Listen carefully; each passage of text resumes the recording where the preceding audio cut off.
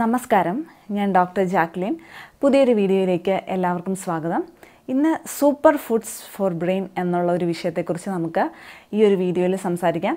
അതെന്തുകൊണ്ടാണ് ഞാനിത് എടുത്തൊരു വീഡിയോ ആക്കാൻ വേണ്ടിയിട്ട് തീരുമാനിച്ചത് എന്ന് ചോദിച്ചാൽ നമുക്കിപ്പം എന്താ ഓർമ്മക്കുറവ് അൽഷിമോസ് ഡിസീസ് അല്ലെങ്കിൽ എന്താ ശ്രദ്ധക്കുറവ് പഠന വൈകല്യങ്ങൾ നമുക്കിപ്പോൾ ഒരു ടെൻഷൻ അല്ലെങ്കിൽ മൂഡ് നന്നാകാത്ത അവസ്ഥ അങ്ങനത്തെ മാനസികമായിട്ട് നമ്മുടെ ബ്രെയിനിനെ ബാധിക്കുന്ന രീതിയിലുള്ള പല അസുഖങ്ങളും അല്ലെങ്കിൽ പല കണ്ടീഷൻസും പഴയ കാലത്തെ കുറച്ച് വർഷം പുറകോട്ട് നോക്കിയിട്ടുണ്ടെങ്കിൽ അതിനെ അപേക്ഷിച്ച് വളരെ കൂടുതലാണിപ്പോൾ.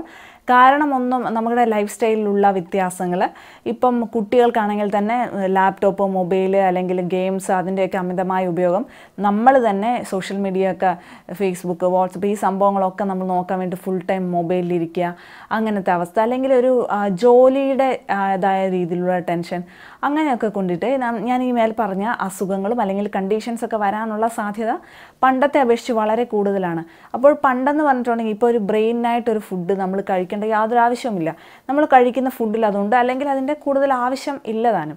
പക്ഷേ ഇപ്പോഴത്തെ അവസരത്തിൽ നമ്മൾ ഈ ഒരു കണ്ടീഷൻസ് നമ്മൾ അതിനും പ്രാധാന്യം കൊടുത്ത് ഇപ്പോൾ നമ്മൾ കണ്ണിന് പ്രാധാന്യം കൊടുക്കുന്ന പോലെ കരളിന് പ്രാധാന്യം കൊടുക്കുന്ന പോലെ ബ്രെയിനിന് പ്രാധാന്യം കൊടുത്ത് അതിന് ഉപകരിക്കുന്ന രീതിയിലുള്ള അതിന്റെ കറക്റ്റ് ഫങ്ഷനിങ്ങിനുള്ള ഫുഡ് കഴിക്കുക എന്നുള്ളത് പ്രത്യേകമായിട്ട് ചെയ്യേണ്ട ഒന്നാണ്.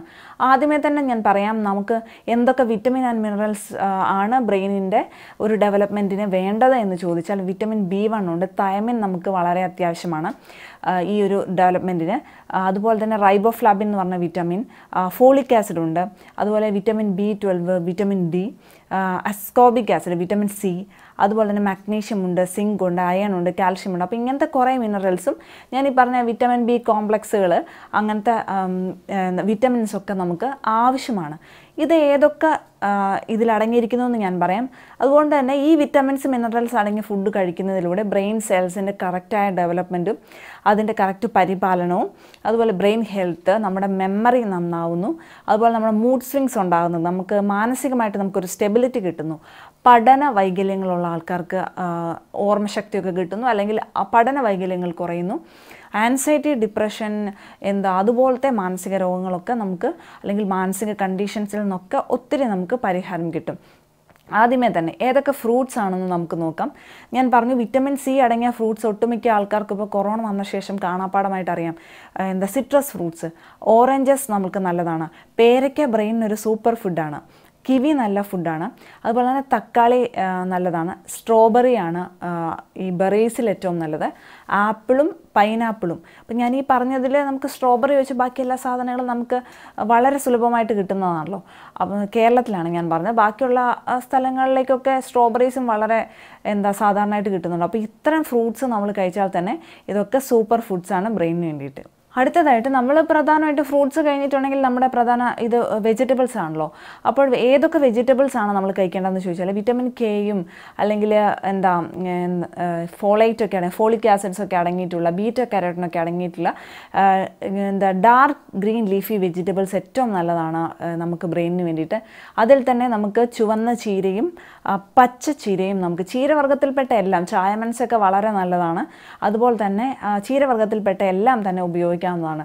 ഹോൾ ഗ്രെയിൻ ആയിട്ടുള്ള നമുക്ക് കാര്യങ്ങൾ ഉപയോഗിക്കാം. ഇപ്പം ഓട്സ് നല്ലതാണ് അതുപോലെ ഗോതമ്പ് നല്ലതാണ് മുത്താറി വളരെയധികം നല്ലതാണ് ബാർലിയും നല്ലതാണ്. അരിയിൽ ബ്രൗൺ റൈസാണ് ഏറ്റവും നല്ലത്. അതുപോലെ തന്നെ വെജിറ്റബിൾ ഓയിൽസ് ആണ് കുറച്ചും കൂടെ കൂടുതൽ നല്ലത്. അതിൽ ഒലിവ് ഓയിലും നന്നായിട്ട്. ഓയിൽ ഏതാണെന്ന് കുറേ ആൾക്കാർ ചോദിക്കാറുണ്ട് ബ്രെയിനിന് വേണ്ടിയിട്ടുള്ള നല്ലത്. അതിൽ ഏറ്റവും നല്ലത് ഒലിവ് ഓയിലാണെന്ന് പറയാൻ വേണ്ടി പറ്റും. നമുക്കത് ചൂടാക്കാതെ ഇപ്പോൾ സാലഡ്സിലോ അല്ലെങ്കിൽ വെറും ഒരു ടീസ്പൂൺ വെറുതെ കഴിക്കാനൊക്കെ ഒലിവ് ഓയിലാണ് അല്ലെങ്കിൽ ദോശയൊക്കെ ഉണ്ടാക്കി കഴിഞ്ഞിട്ട് ഒലിവ് ഓയിൽ അതിന്റെ പുറത്ത് സ്പ്രെഡ് ചെയ്ത് കഴിക്കാനും ഏറ്റവും നല്ലതാണ്. അടുത്തത് നട്ട്സാണ് ബ്രെയിനിന് വേണ്ടിയിട്ട് ഏറ്റവും നല്ല നട്ട് എന്ന് പറയുന്നത് വാൾനട്ട് ആണ് നമുക്കറിയാം. അതിൽ തന്നെ ആൽമണ്ട്സ് നല്ലതാണ്. സൺഫ്ലവർ സീഡ് വളരെ നല്ലതാണ്. നമുക്കിപ്പോൾ അധികം അധികം പ്രാധാന്യം നമ്മൾ കൊടുക്കാത്ത അധികം ടേസ്റ്റ് ഒന്നും ഇല്ലാത്തതുകൊണ്ട് അധികം ആരും കഴിക്കലായിരിക്കും.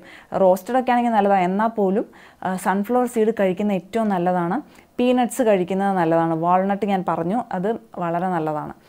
അടുത്തതായിട്ട് പറയുന്ന ഏറ്റവും നല്ല സൂപ്പർ ഫുഡ് ഏതാണ് നമുക്ക് സാധാരണക്കാർക്ക് സാധാരണ കുട്ടികൾക്കും ഒക്കെ കൊടുക്കാൻ പറ്റുന്ന ഏറ്റവും നല്ല ഏതാണെന്ന് ചോദിച്ചിട്ടുണ്ടെങ്കിൽ എഗ്ഗാണെന്ന് പറയും. എഗ്ഗാണ് ബ്രെയിനിന്റെ ഏറ്റവും നല്ലൊരു സൂപ്പർ ഫുഡ് എന്ന് പറയുന്നത്. അതുപോലെ തന്നെ ഷെല്ലുള്ള ഫിഷുകളും ഈ ഫാറ്റി ആയിട്ടുള്ള ഫിഷുകളും മത്തി പോലത്തെ മീനുകളൊക്കെ ഈ ഒരു ബുദ്ധി വികാസത്തിന് കുട്ടികൾക്ക് കൊടുക്കാനും മുതിർന്ന ആൾക്കാർക്ക് കൊടുക്കാനും നല്ലതാണ്.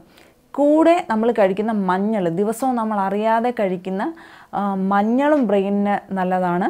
അതുപോലെ തന്നെ കാപ്പി ഇൻ രണ്ട് കപ്പ് പെർ ഡേ എന്ന് പറയും. മോഡറേറ്റ്ലി കാപ്പി എല്ലാ ദിവസവും കുടിക്കുന്നതും നല്ലതാണ്. ഡാർക്ക് ചോക്ലേറ്റും.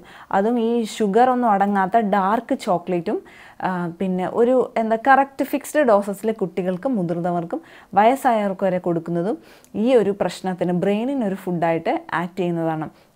അപ്പോൾ ഈ പറഞ്ഞ ഞാൻ നേരത്തെ പറഞ്ഞ അൽഷിമേഴ്സും അംനീഷ്യ അല്ലെങ്കിൽ ഓർമ്മക്കുറവ് അല്ലെങ്കിൽ പഠനത്തിന് പ്രശ്നങ്ങൾ ഡിപ്രഷൻ ഇതെല്ലാം കൂടുതലാണ്. അപ്പോൾ ഈ ഒരു ഫുഡ് അങ്ങനെ നമുക്ക് തോന്നുന്നുണ്ടെങ്കിൽ ഈ ഞാൻ ഈ പറഞ്ഞ ഫുഡുകളിൽ ഏതെങ്കിലും ഒക്കെ നമ്മുടെ ഒരു ഡയറ്റിൽ ആഡ് ചെയ്യുകയാണെങ്കിൽ തന്നെ നമുക്ക് ഒത്തിരി കാലം ഇതിനെ നീട്ടിക്കൊണ്ട് പോകാൻ പറ്റും. നമുക്ക് പെട്ടെന്ന് വരുന്നത് കുറച്ച് വൈകിപ്പിക്കാൻ പറ്റും എന്നുള്ളതാണ്. അപ്പോൾ ഇത് ഓർമ്മക്കുറവിന് കുട്ടികൾക്കൊക്കെ പ്രത്യേകിച്ച് ശ്രദ്ധിക്കുക. ഇപ്പോഴത്തെ സാഹചര്യത്തിൽ ഇതെല്ലാം കുട്ടികൾക്ക് പ്രത്യേകം കണ്ടറിഞ്ഞു കൊടുക്കേണ്ട ഒന്നും കൂടെയാണ്.